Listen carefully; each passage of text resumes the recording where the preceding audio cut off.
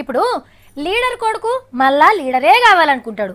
Cinema actor కొడుకు వద్దన్న మళ్ళా సినిమా యాక్టరే అవుతాడు. డాక్టర్ కొడుకు డాక్టర్ అవుతాడు పోలీస్ అయిన కొడుకు పోలీసే వకీలు కొడుకు వకీలే.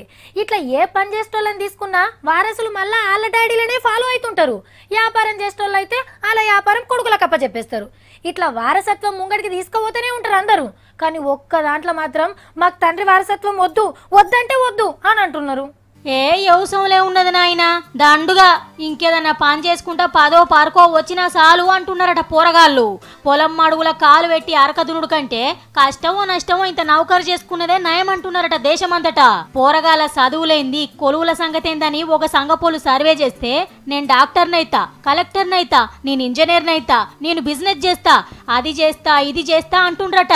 సుక్క దిగిపడ్డట్టు నూటికి ఒక్కలంటే ఒక్కలే నేను రైతునైతా అన్నారట. కావచ్చు కూడా. ఎద్దు బండి గిల్ల ఎక్కిరిచ్చే కాలం వ్యవసాయం అంటే అంతా అప్పులు తిప్పలేనాయే. ఏగాన ఆమ్దాని లేని ఎట్టి చేత వ్యవసాయం నకిలీ ఇత్తనాలు నకిలి మందులు ధరవెట్టని దళారిగాళ్ళు మిత్తికి మిత్తి గుంజే సావుకారులు ఇలువలేని బతుకులు. గిన్ని కష్టాలున్నాక చూసుకుంటా చూసుకుంటా ఎవరన్నా ఆపతిలకు అడుగు పెడతారా? గా ఒక్క శాతం మంది కూడా పండితుడు బంధు పెట్టకముందే. ఈ టెక్నాలజీతోని ఆకలిని మింగే గోళీలు తయారు చేసుకుంటే మంచిది.